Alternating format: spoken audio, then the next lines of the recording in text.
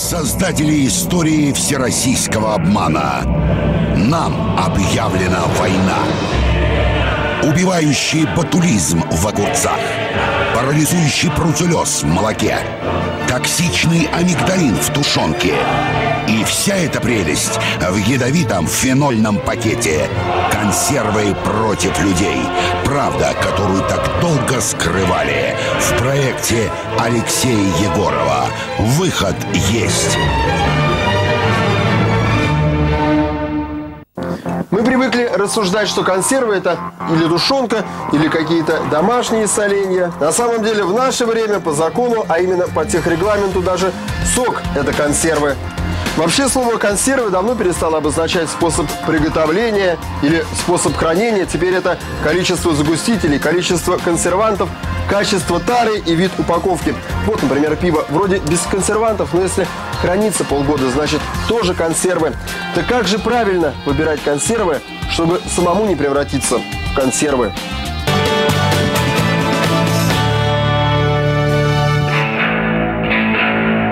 Москва. Выставка достижений индустрии упаковки. Странное мероприятие, ведь в России отрасли юридически не существует. Отсюда и все проблемы. Сегодня у нас это, по сути дела, в свободном полете находится, вот этот процесс. В условиях рынка что выгодно, тот то и производит. Покупатели побогаче готовы платить за натуральность, хотя сами производители к таким пристрастиям относятся философски. Уж обмануть меня нетрудно, я сам обманываться рад. Владелец сети супермаркетов Дмитрий Потапенко по совместительству отечественный производитель. Будучи в бизнесе уже 20 лет, он все рекламные ходы может просчитать наперед. Поэтому, например, минералку пьет из пластика. А я был на всех, в общем-то, производствах страны.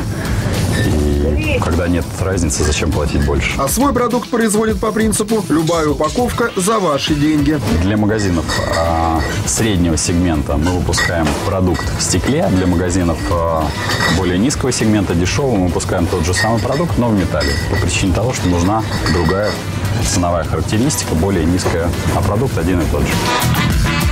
Стекло действительно это премиум продукт, и цена у него, конечно, выше, чем у пластика. Стоимость бутылки 0,5 литров колеблется от 5 до 10 рублей. И снова выставка. Обратите внимание, производители стеклотары раз в пять меньше, чем производители пластика. Сразу становится ясно, на рынке упаковки спрос формирует предложение. Курская область – самая крупная в стране производство упаковки. Здесь нам показали, как ее производят правильно в промышленных масштабах. Вся пластиковая упаковка изготавливается из полиэтилена, полипропилена, лавсана, полистирола, полиамида. Но все эти полихимикаты одного рода племени нефтяного. Вначале это было нефть. Это производная нефтепродукта. Дальше это уже применяется в пленке. Из таких гранул здесь делают полиэтиленовую пленку, которую используют при производстве упаковки для макарон, сухариков и чипсов. Пищевая упаковка, она подвергается более тщательной переработке, более тщательному контролю. Туда не включаются никакие добавки, которые там наполнители, которые бы э, могли повредить э, здоровью человека. Вредная она может быть в том случае, если ее использовать не по назначению. Если на пластиковой упаковке нет специального знака с изображением вилки и ложки, даже сами упаковщики не рекомендуют из нее есть. Особенно опасно разогревать пищу в полистирольной таре. Нельзя э, долго подвергать термическому воздействию пластик, чтобы там не находился продукт, там, э, либо не продукт, потому что он начнет разлагаться. И, кстати, для хранения многих продуктов пластик практически не пригоден. Оливковое масло, они имеют обыкновение впитывать в себя запах, э, может, а порой иногда и вкус, если это хранится в долгих условиях и неправильно, тех э, упаковок, в которых они хранятся. По той же самой причине алкоголь, особенно крепкий алкоголь, разливают в стекло. В любом стакане или контейнере или коробке продукт вступает в реакцию. Значит, должен быть какой-то регламент. Раньше было указание о том, чтобы, э, допустим, те пакеты, которые продают в супермаркетах, они должны быть сделаны только из первичного сырья. Потому что там они непосредственно там укладываются именно продукты. А что на самом деле? Ну, а везде, вы, вы же понимаете, мы с вами в России живем, не в Германии. Приличное сырье для пластиковых пакетов – это чистый первичный полиэтилен. Из такого обычно производят упаковочную пленку для завтраков. Вторичное сырье – это переработанные использованные пакеты. И мы получаем вот такие гранулы. Соответственно, вот это и есть э, так называемое вторичное сырье. Она сделана, значит, из э, пакетов, э, то есть из остатков, из отходов производства, скажем так. Из смеси первичного и вторичного сырья производитель Горелашвили делает пакеты для мусора и так называемые маечки. Так получается дешевле, ведь если мусор можно переработать, зачем его выбрасывать? В мусорных пакетах практически во всех есть э, вторичное сырье, то есть э, это однозначно. Вот. А что касается остального, вы знаете, что у нас нету, э, допустим, такого понятия, как где-то, где указывается, какой процент вторичного. Пакеты из чистого первичного и с добавлением вторичного, они как близнецы, абсолютно одинаковые. Разница только в том, что в пакете, где есть вторичка, выделяется фенол, ядовитый газ. Поэтому такой пакет будет иметь резкий неприятный запах. Сюда вот фасовочные пакеты, это э, класть вторичное сырье, это, мне кажется, что это вообще преступление против, просто против здоровья человека, это конкретно. То есть ни одна уважающаяся организация этого не сделает, потому что, ну, это все равно, что человеку, извините, э, э, стакан чая бросить яд. Понимаете? Вот, вот приблизительно такое. Это преступление. Поэтому продукт сначала надо положить в прозрачный фасовочный пакет, а потом в любой другой хозяйственный.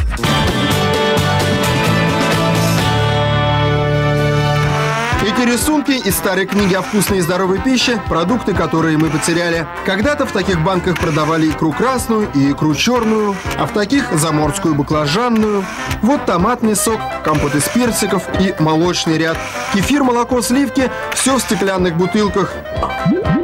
Из таких же пьют и гайдаевские самогонщики. И самое интересное, срок годности всего три дня. Теперь, спустя полвека, молоко уверенно идет на второй и на третий срок. Но самым странным выглядит обычное магазинное молоко в пакетах.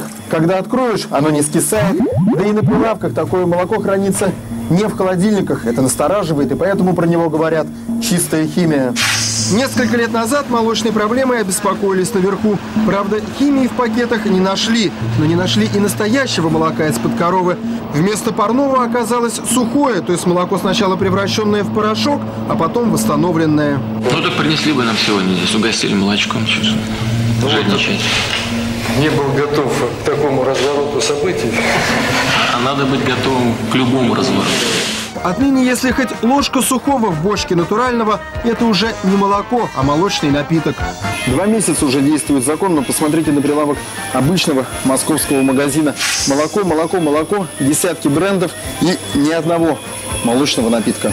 Говорят, мы – это то, что мы едим, но человек на 70% состоит из воды, значит, мы скорее то, что мы пьем. А вот что именно мы пьем, в эпоху этикеток с маленьким шрифтом, узнать это совсем непросто. Возьмем две упаковки пластиковых. Вот пластиковая обычная упаковка, вот это специальная упаковка длительного хранения. В чем разница?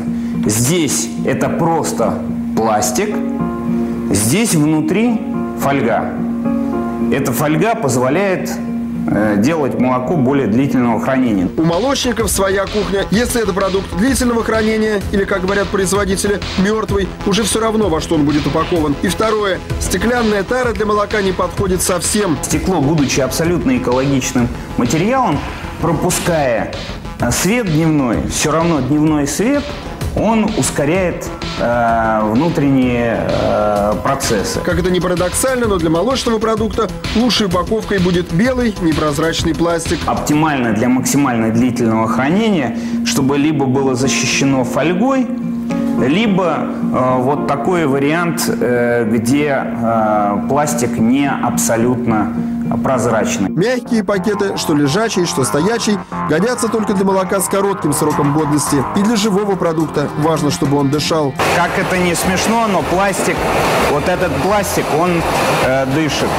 Э, пергамент пропитанный, он э, дышит, и более того, он имеет в своем составе специальную пропитку, и эта пропитка сделана из лиственницы. Это специальная пропитка, которая сохраняет максимально натуральным свойства этого продукта, максимально длительный срок. А еще, чтобы живое молоко не скисло раньше времени, производитель должен правильно обработать бутылку. Мы всякую бутылку, которую, которую должны залить продукт, очищаем. Чистую бутылку мы дополнительно перед самым розом еще облучаем бактерицидными лампами. Сроки годности такого продукта минимальны. Сыр и масло не больше месяца, творог не больше двух-трех недель, молоко еще меньше 14 суток, а кефир и вовсе будет жить всего неделю. Но чтобы увеличить срок годности, оказывается, совсем не обязательно использовать консерванты. Мы можем в сыры, в рассолы добавлять немножко соли и, соответственно, за счет соляного раствора продлевать срок хранения. Соль противодействует бактериям и противодействует э, э, вредным микроорганизмам. А что же происходит с самим молоком? Нам говорят, теперь его не разбавляют, разве что зимой и в далеких регионах типа Камчатки, где неоткуда взять свежего молока. А вот в Москве даже на заводе найти молочный напиток – целая проблема. А В качестве примера, да, у нас есть розлив э, молочного напитка. Я вам готов его сейчас э, показать. Молочный напиток, пожалуйста. Молочный напиток. Вот она, новинка рынка – пакет с узаконенным сухим молоком. Потребитель еще должен привыкнуть к такому чудному наименованию молочный напиток. И хотя сухое молоко безопасно, его добавляли еще в СССР, просто не верится, что его совсем не подсыпают ныне. Поселок Молочное, молочная столица России. Это здесь изобрели то самое вологодское масло. И сюда мы привезли на экспертизу молоко. Идем проверять молоко разных заводов. С собой мы взяли 7 пакетов разной жирности и разных производителей. Мы можем проверить массовую долю белка, кислотности. Центрифуги, морозильники, индикаторы. Для неспециалиста непонятно, но красиво. Внимание, эксперимент.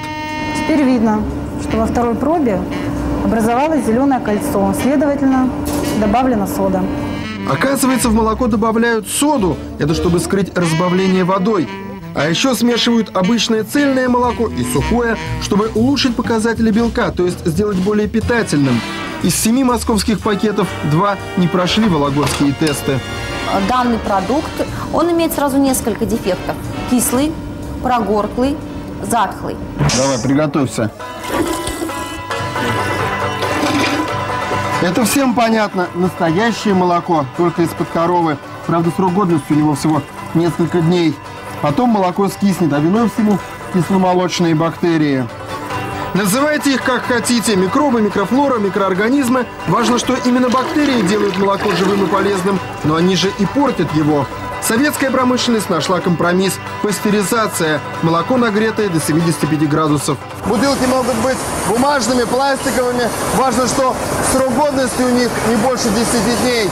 И уж тем более не бойтесь тех самых совсем неподозрительных пакетов с алюминиевым покрытием.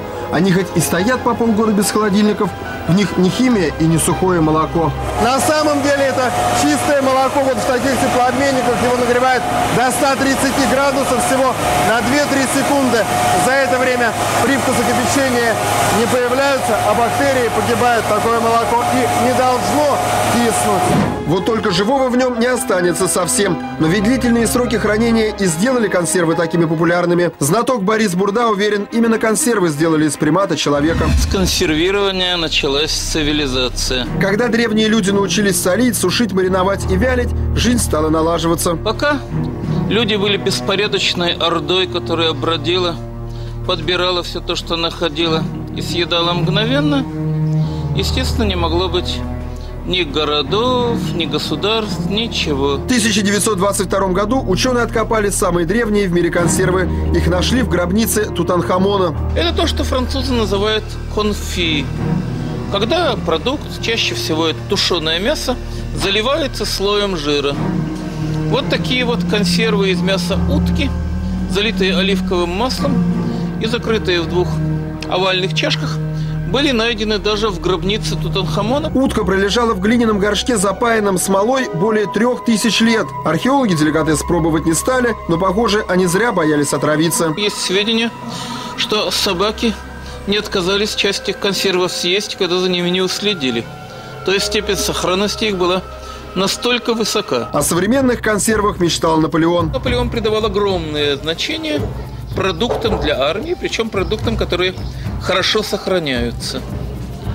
И вот был объявлен конкурс. В 1795 году Бонапарт пообещал награду тому, кто придумает лучший способ сохранять продукты. И уже через 10 лет простой повар из Парижа Николя Аперт придумал герметизацию. А именно, он обрабатывал банки в кипящей воде. Наполеон даже не только выдал ему премию, но присвоил звание «Благодетель человечества». Еще один благодетель, английский купец Питер Дюпон, 200 лет назад запатентовал консервную банку и открыл первый консервный завод. А вместе с тем появились и дешевые подделки. Знаменитая экспедиция сэра Джона Франклина строго говоря, скорее всего, погибла из-за консервов. Не запаивали банки свинцом, опасным кумулятивным ядом, который накапливается в организме. И некоторые из них от свинцового отравления и погибли. А эту банку консервов царских времен русские исследователи нашли на Таймыре. Щи с мясом каши. Продукты, которым питалась экспедиция Эдуарда Васильевича Столя, которые пролежали, сохранились с 1900 года. В поисках земли Санникова все члены экспедиции Эдуарда Толя погибли, а вот консервы в условиях вечной мерзлоты отлично сохранились. В 1973 году их нашла другая экспедиция под руководством Дмитрия Шпаро. По вкусу это были нормальные щи с мясом и с кашей. Значит, там было довольно много мяса, оно было такого вот розового цвета, как-то баночку открыли, оно немножко потемнело сразу просто на глазах. Э, запах был таких вот э, кислых щей, довольно приятный. Ну, а вкус просто нормальный, отличный. Я думаю, что это был великолепный совершенно продукт. Хлебали щи уже в Москве за одним столом с учеными, которые подтвердили, консервы качественные, что называется, испытано на себе. Живы, видите, остались. Ну, конечно, изменилось несколько внешний вид там, это, потому что ну, содержание железа там, конечно, повыше. Смотрите через несколько минут. Консервы Тутанхамона. Кому довелось попробовать со стола фараона? Что такое батулизм и с чем мы его едим? Тушенка, сэр. Уникальная экспертиза. На проверке 87 банок консервы выпустили на первом в России консервном заводе. Его открыл в 1870 году в Петербурге Франсуа Азибер, последователь того самого благодетеля человечества. К месту находки экспедиция Шпаро возвращалась четыре раза. Еще шесть таких банок до сих пор хранятся на Таймыре. В условиях вечной мерзлоты они сохранились куда лучше, чем в лаборатории НИИ консервной промышленности. Вместо вынутого исследователи закопали в том же месте современные консервы из Росрезерва. Заложили свежие продукты на для следующей выемки в 2050 году. Советские консервные заводы оборудованы по самому последнему слову техники. Консервная промышленность СССР вырабатывала около 600 видов различных консервов. Консервы деликатес. В шикарных ресторанах того времени могли подать банку с импортной тушенкой. Правда, поверьте, хорошей качественной и без сои. И консервы кормилицы целой армии. И что удивительно, долгое время открыть банку было большой проблемой. Как ни странно, консервный нож был изобретен гораздо позже, чем консервы. Раньше с помощью долота и молотка бедные матросики вырубали баночки, эти вот донышки у них – и как-то все-таки добирались. В 60-е годы эпатажный художник Энди Уорхол превратил консервную банку в произведение искусства. Он нарисовал 48 картин с изображением банки томатного супа Campbell's и продал их по 100 долларов за штуку. Сейчас их стоимость от 3 до 12 миллионов долларов. Но давайте все-таки поймем, как выбрать не картину, а консервы. У опытного путешественника Дмитрия Шпаро есть свой рецепт, как выбрать консервы, которые потом выручат в любой жизненной ситуации. Надо взять, выписать название 12 заводов, купить по одной банке банке каждого из этих заводов. Попробовать. Вот 11 банок, я уверен, вы выбросите, одну оставите, и потом эту одну покупать. Определить на глаз, какие сюрпризы таит в себе обычная консервная банка, не могут даже специалисты НИИ консервной промышленности. Консервами можно накормить и в то же время отравить. Сегодня делать консервы по ГОСТу совсем не обязательно. Технические условия может само предприятие написать. Производители придумывают рецепты сами по так называемым ТУ техническим условиям. Одним из опасных могут быть огурцы. Если нарушена технология, даже в абсолютно герметичной банке может накопиться смертельно опасный яд.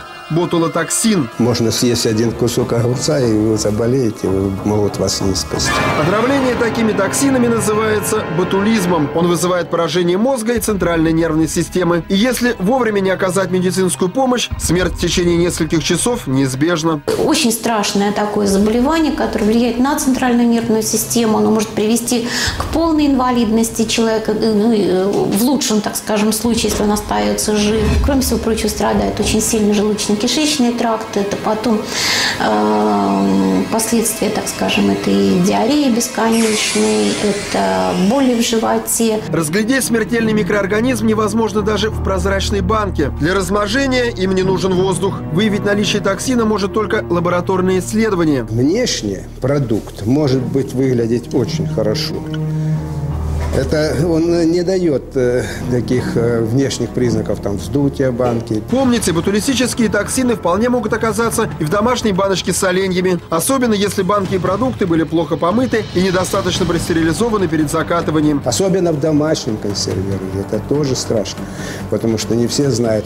Ну, хозяйка, если чистоплотная и все хорошо делает, то ясно, что она хорошая, себе вреда не наделает. А если ей сделать на продажу, там особенно нельзя вот вдоль э, дороги. Чтобы убить опасные микроорганизмы, производители льют побольше уксусной кислоты. Вот почему соленья из магазина часто вызывают изжогу. Кислота убивает не только токсины, но и микрофлору вашего организма. Последствия абсолютно ужасные. Возникновение таких заболеваний, как э, гастриты различных форм, это э, язвенная болезнь желудка 12-перстной кишки. Первый признак, что консервы опасны – вздутая крышка. Если не ботулизм, то кишечное отравление вам гарантировано. Любая хорошая банка при открывании всегда громко выдыхает. Слышите? Хлопок. И вот крышка выгнулась. Вот это был контроль. А сейчас, если закроете, назад уже, видите, нет, нету. Хлопка нет, а. А вот у всех скручивающихся стеклянных банок на крышке есть вот такая кнопка контроля. Если вы пришли в магазин и так вот нажали какую-то банку, и вдруг она захлопала, так вы такой шум поднимете там, почему вы э, э, это, некондиционную банку выставляете, это вы знаете, а другой-то не знает, придет домой и отравится. Стеклянные банки лучше хранить в темноте. Если консервы в прозрачной таре долго застаиваются на прилавках, и со света меняется и вкус, и цвет содержимого. Консервы в жестяных банках считаются более практичными. Не бьются, не подвержены цвету, легче переносят температуру. Но из поврежденной банки металл может перейти в продукты. Хром, железо, свинец, лаки, эмали – все это вы можете съесть вместе с консервами из банки. И помните, например, не стоит хранить тот же зеленый горошек в открытой металлической банке. Лучше переложить его в стеклянную тару и уберите в холодильник. И еще не покупайте банки с повреждениями. На корпусе не должно быть вмятин и царапин. Особое внимание обращайте на швы. Они не должны быть ржавыми или даже потертыми. А лучше всего покупать консервы в бесшовных банках. Ну а если вы выбрали банку с ключом на крышке, проследите, чтобы ободок для среза не был испорчен. Пакеты по 0,5, литровые бутылки и трехлитровые банки. Все мы любим соки и хотим получить от них максимум пользы. Но как из всего этого многообразия на полках магазинов выбрать действительно хороший продукт? Это видео снято на одном из заводов в Китае. Здесь делают концентраты для соков, которые потом будет пить вся Россия. Китайские рабочие сортируют апельсины. Вот хорошие плоды, они идут на прилавки магазинов, а это гнилые, из них и сделают концентраты для соков. Потом апельсины с душком перемелют в специальных машинах, выпарят воду, добавят сахар и консерванты. Позже именно такой концентрат уже на заводах будут превращать в стопроцентный апельсиновый сок. Затем сок разольют по пакетам, бутылкам и банкам. Особо жадные производители разбавят его водой. При этом во что упакован сок, большой разницы не имеет. Если вы по советской привычке доверяете трехлитровым банкам, то знаете, нарваться на обман можно и в них. Восемь образцов вот этих вот трехлитровых банок а, соком не являются соком, даже близко не являются соком. И в бутылках с красивой этикеткой. А в этих а, бутылках оказалось, ну, нечто, даже что-то не похожее на нектар. Или что-то, ну, вываренное просто из массы, например, томатной и разбавленная водой. Поэтому уже сегодня многие из нас магазинным сокам не доверяют. Певица Полина Гагарина не исключение. От соков в картонных пакетах и стеклянных тарах она отказалась в пользу свежевыжатых.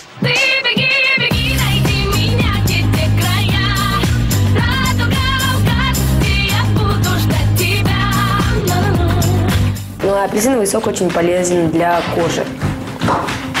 Для девушек особенно. Решение выжимать во имя пользы красоты и здоровья пришло неожиданно. После рождения сына певица стала больше заботиться о здоровом питании. В дом сразу купили соковыжималку, и теперь Полина делает соки сама для себя, ребенка и гостей. Вот так вот мы надавливаем, и наш сок потек.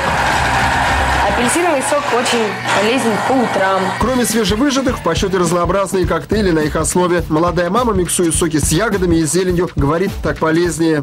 Какой чудесный день, какой чудесный пень, какой чудесный я и песенка моя. О самых полезных овощах, фруктах и их сочетаниях лучше всего знают здесь, в клинике лечения соками.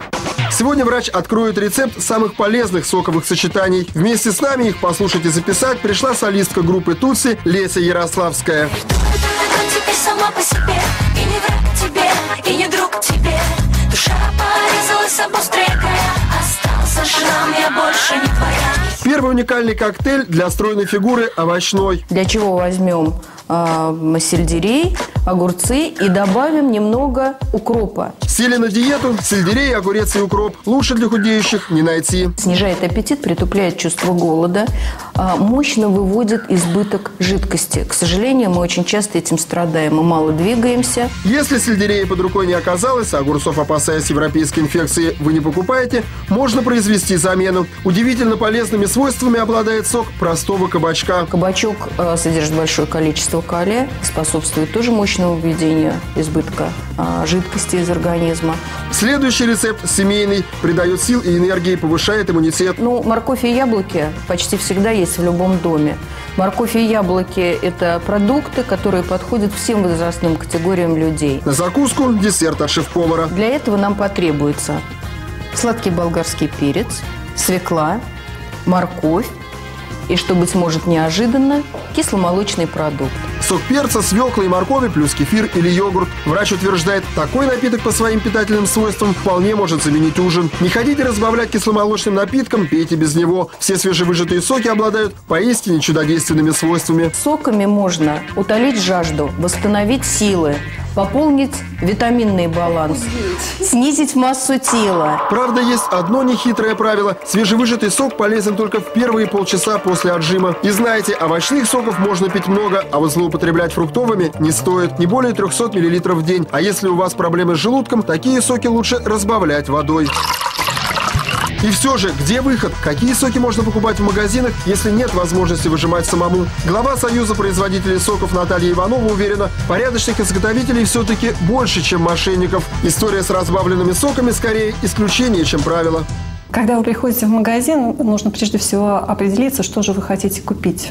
Сок нектар или сокосодержащий напиток или, например, морс. А Для этого а, нужно не лениться читать а, упаковку. Производитель обязан писать на упаковке, сколько в пачке сока, а сколько воды. Лучше, если в составе не будет сахара. При этом соком может называться только тот продукт, в котором вообще нет консервантов. Консервантов в соковой продукции быть не должно. Если в составе значится консервант, это не соковая продукция. Стеклянные бутылки и банки в наше время уже не лучшая упаковка для соков. Бутылка прозрачна и банка прозрачна. Соответственно, через нее а, в продукт проникает свет, что, в общем-то, не является благоприятным для сохранения продукта. А вот картонные пачки специалист хвалит. Это более современная упаковка, я еще раз говорю, позволяющая э, использовать более щадящие режимы обработки при производстве соковой продукции и позволяющие максимально сохранять э, качество продукта в течение его хранения. После того, как вы выбрали, в какой упаковке покупать сок, смотрите внимательнее на саму пачку. Обязательно нужно обратить внимание на срок годности продукта.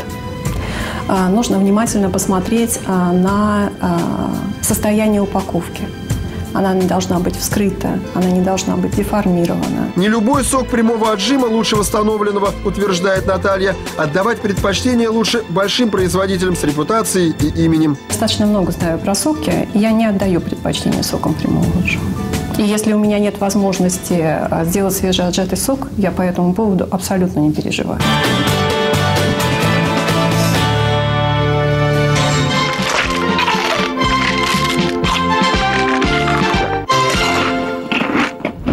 Такой молодой и с виду простой, Легень – один из крупнейших поставщиков овощей в нашу страну. 40 километров. Да, все огурцы. Ну, все о России, до России. 40 километров теплиц для России. Будьте уверены, вы наверняка хоть раз ели его огурцы и, видимо, еще долго будете есть. Китайский бизнесмен не спрашивает на рынке, откуда овощи, просто сравнивает цены. Итак, огурцы... Один рубль за килограмм. Это яблоки. 6 рублей за килограмм. Ну и морковка. 6 рублей килограмм. О таких ценах в России только мечтать.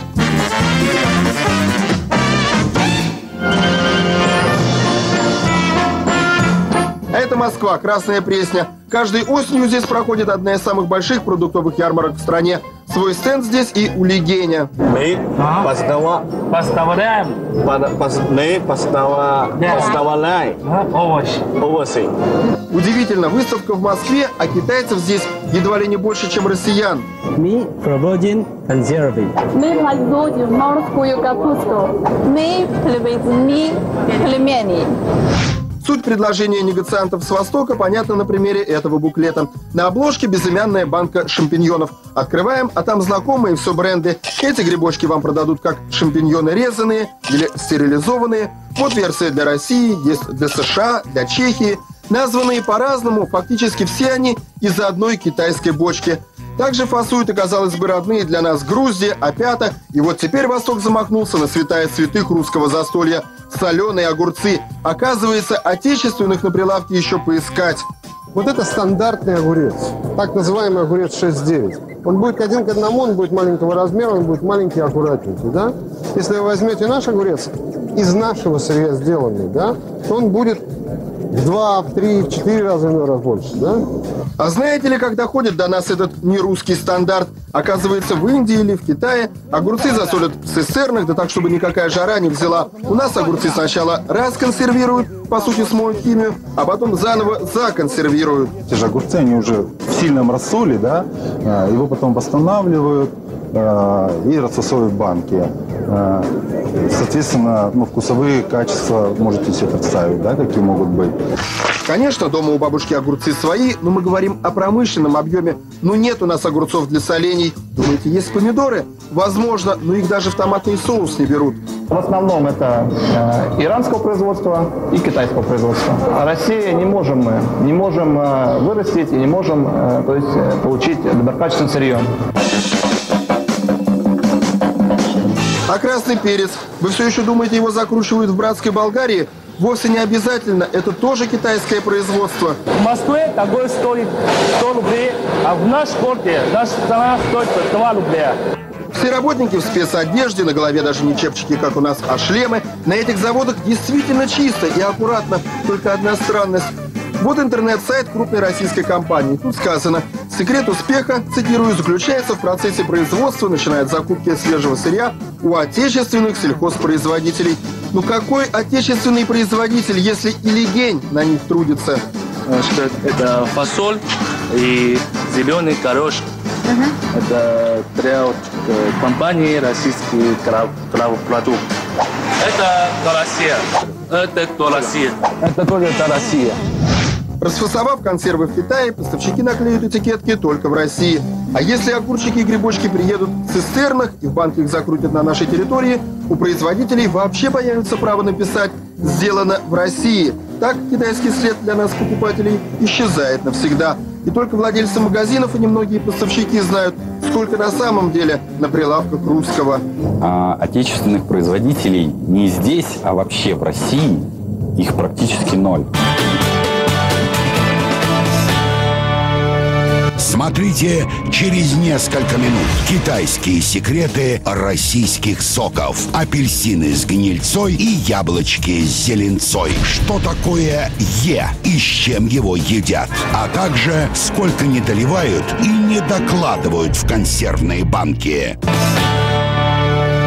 Это страшная буква «Е». Новый смысл она обрела всего полвека назад. Теперь-то мы знаем, если молоко хранится в холодильнике неделю и не скисает, а хлеб спустя 10 дней не черствеет, это не признак качественной продукции, это Е. Простой и дешевый способ придумать продукту привлекательный вид и цвет, усилить вкус и продлить срок его хранения. Сегодня вообще без консервантов мы в магазине практически ничего не купим. Никогда и нигде. Сложные химические названия добавок в 1953 году в Европе стали маркировать буквой Е. К ней добавили цифры и получилось несколько сотен наименований. Некоторые люди употребляют в чистом виде, например, кладут в чай Е951. Аспартам, который является заменителем сахара, а, по большому счету это та же самая, сама по себе как бы добавка.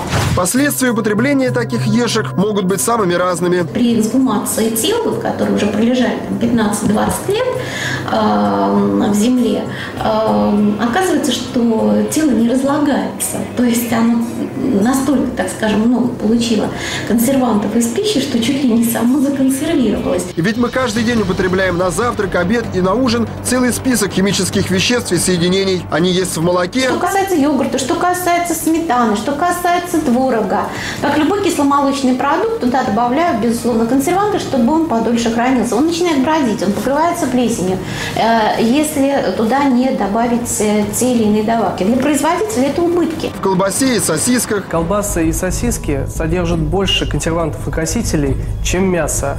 Консерванты и красители входят в состав пищевых добавок с буквенным кодом Е, они могут приводить э, к нарушениям пищеварительной системы, а, к проблемам с иммунной системой. В самых негативных случаях это может приводить э, даже к развитию раковой опухоли. Но из всех продуктов питания таблицу Менделеева лучше всего изучать по сладостям. В нашем мармеладе содержится огромное количество пищевых красителей и ароматизаторов. Причем производители этого даже не скрывают. Здесь содержатся такие вредные вещества, как Е102, Е129, Е133. Эти вещества в том числе ведут к гастритам, к выпадению зубов, к болезням десен и так далее. Даже в самом народном продукте – хлебе, и то не обходится без химии. И теперь аромат традиционной булки – это синтезированный запах. Добавляют и красители, и ароматизаторы, и витамины, и э, разрыхлители э, те же. Э, все добавляют, потому что без этого невозможно хлеб испечь. И ведь дело не в конкретной булке хлеба или кусочке мармелада. В той концентрации, в какой э, есть э, эта добавка в том или ином продукте, ну, например, в одной конфетке или в одном йогурте, или в одной сосиски или э, в капельке кетчупа. Ничего страшного, естественно, не происходит. Но мы же едим конфетки почти каждый день. Там кетчупом тоже пользуемся ежедневно, да, во время обеда. Э, используем йогурты, даем их детям. И сами, в общем-то, едим и говорим, что это полезно. Среди огромного списка пищевых добавок есть разрешенные, запрещенные, вредные и безвредные. Последних крайне мало. Е100 – краситель куркумин, Е363 – подкислитель янтарная кислота, Е504 – разрыхлитель теста карбонат магния, Е957 – посластитель тауматин. Есть небольшой перечень продуктов, где добавки не используются. Берите хлеб из отрубей. Во всяком случае, отруби э, очень полож... содержат много витаминов группы В, очень положительно действует на кишечно-желудочный тракт, на перистальтику кишечника. И этот хлеб полезен, полезен при диабете, при других любых заболеваниях. И он дешев, недорог. Сахару тоже можно найти замену, но это должен быть не искусственный аспартам в таблетках, а природный продукт, полученный из ягод и фруктов. Лучше пользоваться фруктозой, это натуральный продукт. А, он менее сладкий, чем сахар, а, обладает э, очень приятным а, вкусом. И, соответственно, э, в небольших э, дозах его могут употреблять как больные сахарным диабетом, так и люди, которые следят за своим весом. Конечно, избежать пищевых добавок в пище невозможно, но можно их свести к минимуму, поэтому внимательно читайте этикетки и помните, запах, цвет и вкус продукта часто обманчивы.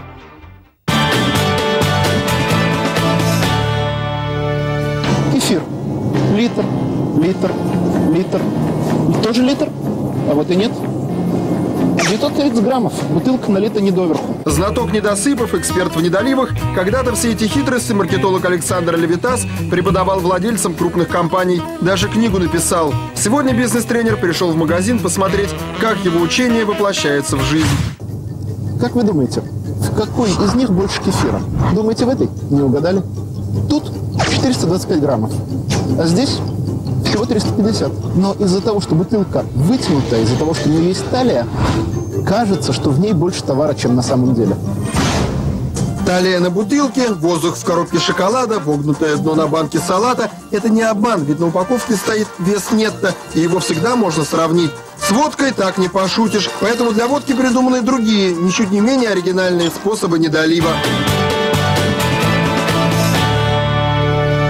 Смотрите через несколько минут. Китайское все. Откуда к нам приезжают соленья? Сколько химии в натуральном? И где найти хлеб без консервантов? Допуск по полноте налива. То есть можно чуть-чуть не долить или чуть-чуть перелить. Это ГОСТ тоже допускает, да? Там плюс-минус 5 миллилитров. Можно и в ту, и в другую сторону э, изменять. Но, как правило, не переливают, обычно не доливают, да? Итак, закон позволяет не долить 5 миллилитров. И вот мы уже сами обманываться рады. А уж перед модным словом «эконом-упаковка» не устоит даже опытный покупатель. Обычно такие большие упаковки того же товара называют эконом-паками. Если один пакет стоит 28,90, три пакета должны стоить 86,70. Но сколько стоит трехкилограммовый пакет на самом деле, сколько сэкономит покупатель, не сэкономит ничего, более того, переплатит почти рубль. Простая арифметика и никакого мошенничества. Вопрос. Как заставить покупателя съесть буханку хлеба быстрее? Ответ. Очень просто. Если нарезать хлеб на немножко более толстые ломти. Но когда дело доходит до оформления упаковки, тут изобретательности производителей нет предела. Вот посмотрите, две еле заметных дырочки. Глазом мы их не видим, но носом чувствуем запах свежего кофе. Реакция мозга – брать. Кроме арома приманки важен цвет. Художник-дизайнер Александр Мещеркин говорит, что потребитель любит глазами. Поэтому с помощью одних только красок Мещеркин решает простые, с виду детские задачи, но его клиентам они приносят миллионы. Когда-то одной известной фирме Мещеркин доказал, йогурты надо отбеливать, и на этом разбогател. Как утверждает Мещеркин, белый цвет ассоциируется с премиум-сегментом, то есть с элитными товарами. А премиум уже и стоить должен по-другому, точно так же, как и экологически чистые продукты подсолнечное масло без холестерина. Холестерин, как известно, животный жир. Иными словами, в любом растительном продукте его нет по определению. Марья Ивановна – это и есть тот самый потребитель растительного масла. Именно на такой образ ориентируются российские производители. Их западные коллеги пошли дальше. Они ориентируются на собирательный портрет российской покупательницы, которую они называют миссис Иванова. Это женщина, а не мужчина. Почему? Левитас начал объяснять, но понял, что лучше один раз увидеть. Нет, это не она. Вот она.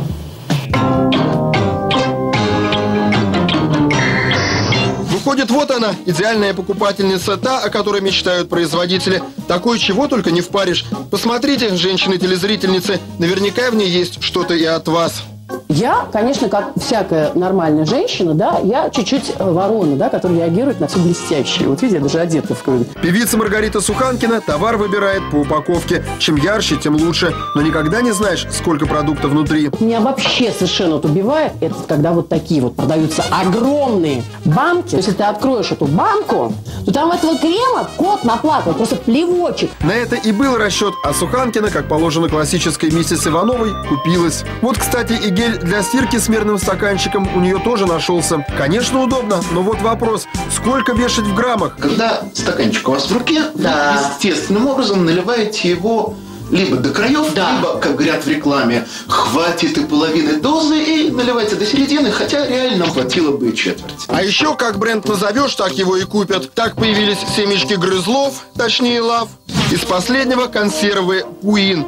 Вроде в слове четыре буквы, но вы возьмите и не спеша прочитайте. Получится? Впрочем, вы и сами догадались, что получится. А знает ли про эти консервы сам